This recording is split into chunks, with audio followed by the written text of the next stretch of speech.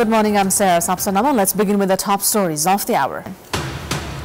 Premier Oli's UN General Assembly visit taken as a chance to earn confidence of the international community on Nepal's efforts for transitional justice, also to voice for the release of Bipin Joshi held by Hamas. Tourism businesses growing concerned as tourists cancel their bookings and reservations for the upcoming tourist season.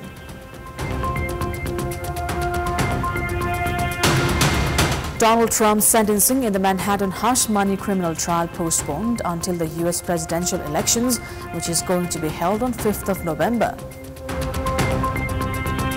And Taylor Fritz survives an epic fight against American compatriot Frances Tiafoe to reach his first major final at the U.S. Open.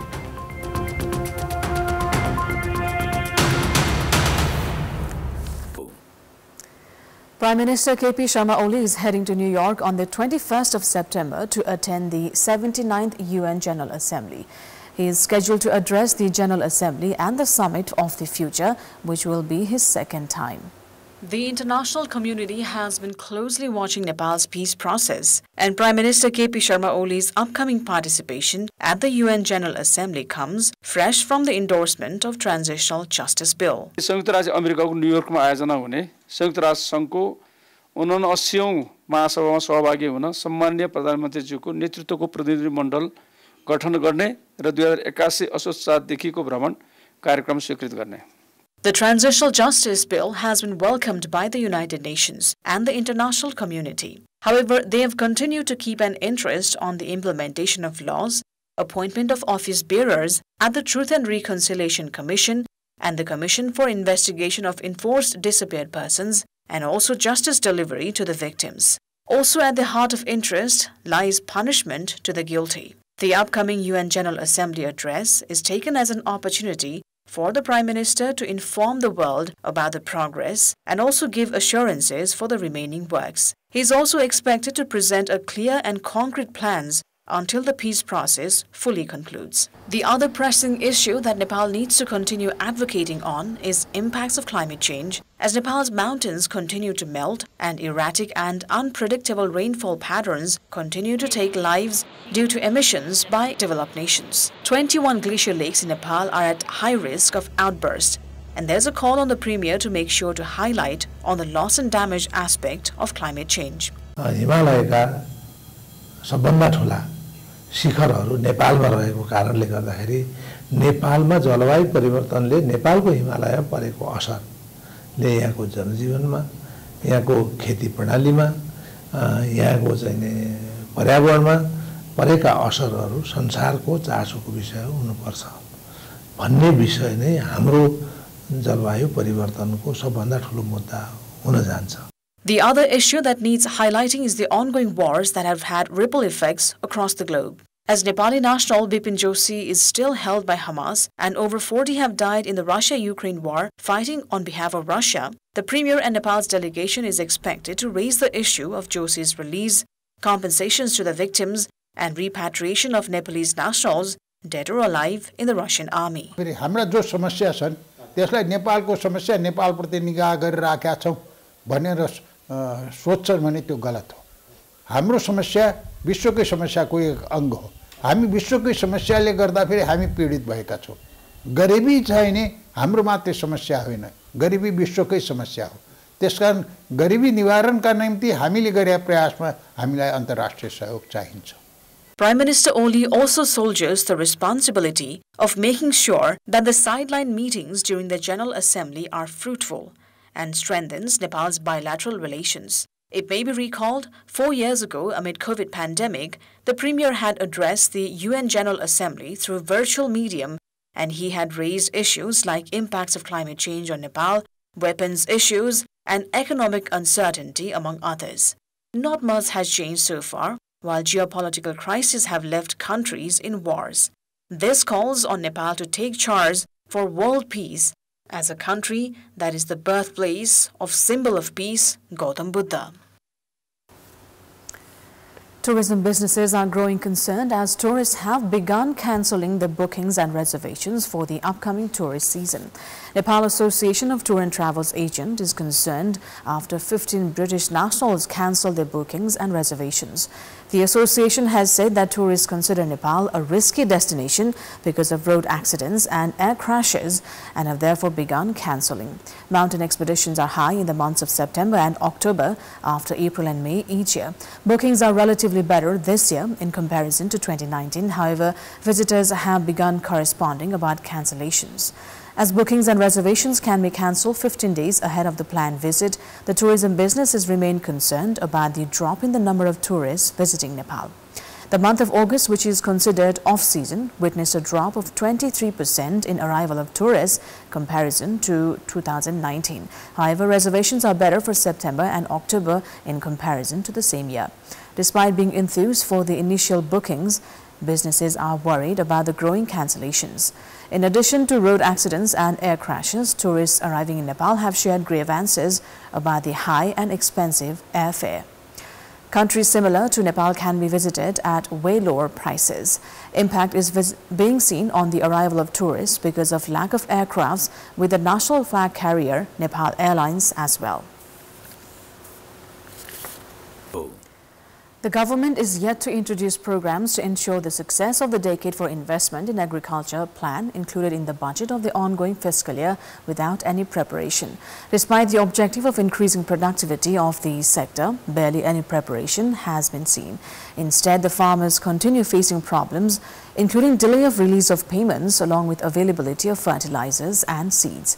With the objective of increasing productivity of the agriculture sector, the government had introduced the agro insurance program 11 years ago. As per the program, the government is to bear 80% amount of the insurance premium. However, with the government yet to release 1 billion rupees in the past one year, insurance companies have grown concerned. Government entity, the Dairy Development Corporation, is yet to release more than 1 billion rupees in payment to dairy farmers. Despite Thursday's decision of the meeting of the cabinet to provide 600 million rupees in loan to DDC, the farmers are yet to receive their payments. While the government has announced the decade for investment in agriculture, the price of food grains and vegetables have increased by 20% in the past year.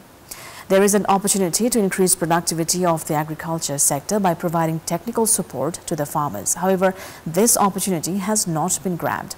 Tragedy is such that the farmers have been struggling to receive chemical fertilizers, seeds and other technical support. There is a trend of formulating programs with the objective of benefiting the farmers, but they never even see the light of the day. The young population of the country is not attracted towards the agriculture sector as they prefer basic employment opportunities elsewhere. The government does not have clear programs to reduce the import of daily essentials like rice, potatoes and onions among others. Those other than farmers have been abusing aid of more than 20 billion rupees in the agriculture sector. Despite the sector in a sorry state, the government denies accepting the facts. While struggling to address the immediate issues, the government has also failed in formulating efficient long-term plans. Despite the prospects of increasing productivity, agro products worth around 300 billion rupees are imported each year. Meanwhile, around 1 million hectare of arable land has gone barren in the country. Farming in such a large area of land could stop the exodus of young population and curb the trade deficit by making the country independent in agro products. For all this to happen, the Ministry of Agriculture and Livestock Development must play an efficient role. It is time now for our segment Public Pulse, where you text us with your opinion. The question is why have the problems of farmers related to fertilizers, seeds and price not been addressed despite the changes in the government? Your options are A. No understanding of significance of agriculture B. Pretext of inadequate budget and C. Lack of coordination. The voting is on. Type NEWS, select your option A, B or C and send it to 34001 to share your opinion with us. Time now for international update.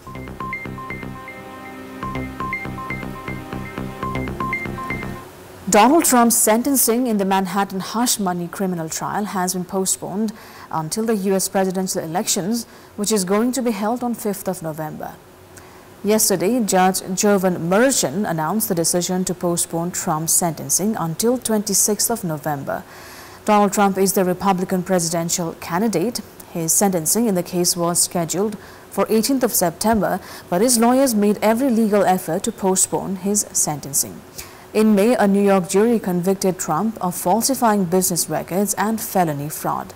This was the first time in the U.S. that a former president was convicted of a crime.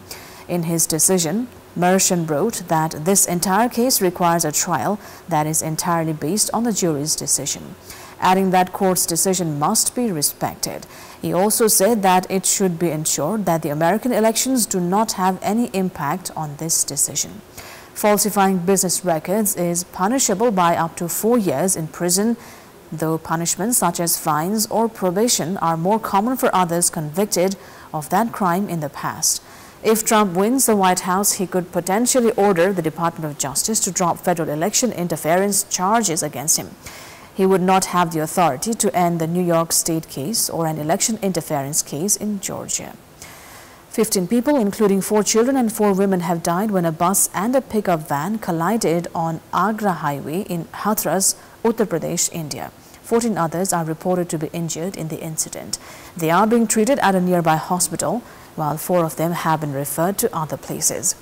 It is said that a van carrying about 30 people had collided with a bus while overtaking.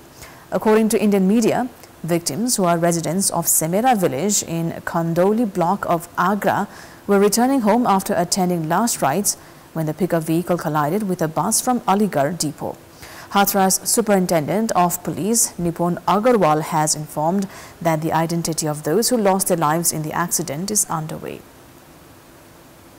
adding that the department is investigating the cause of the crash. Chief Minister Yogi Adityanath has instructed the officials of the district administration to provide proper treatment to the injured. Prime Minister Narendra Modi has said that the road accident in Hathras is very painful and devastating. He's also announced that the families of those who lost their lives in the accident will be compensated 200,000 rupees each from the Prime Minister's Relief Fund. He also said that 50,000 each will be given to the injured. Congress leader Priyanka Gandhi has also expressed grief over those who lost their lives in the incident.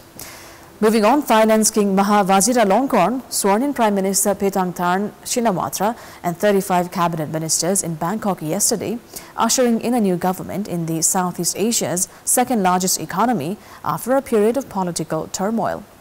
The 38-year-old leader of ruling Pheu Thai party was elected by parliament last month to become Thailand's youngest prime minister after her predecessor, Srettha Thavisin, was dismissed by a court order over an ethics violation. Dressed in official uniform, Paetongtarn and her cabinet ministers swore their allegiance in front of King Vajiralongkorn and Queen Suthida in a ceremony at Bangkok's Dusit Palace.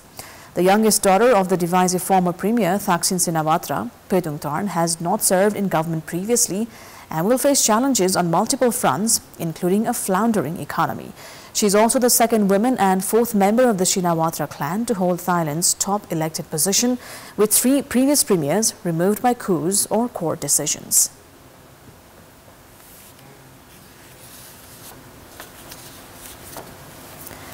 A 15-year-old Maryland high school student died yesterday after he was shot by another student inside the school bathroom at Joppa High School.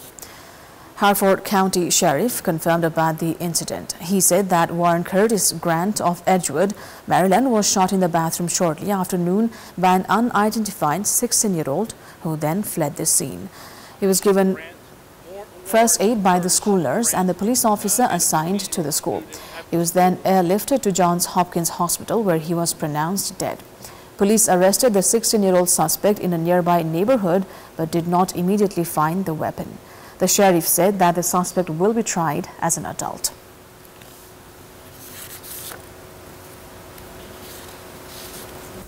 That's all for the moment. Thank you for watching. Bye for now.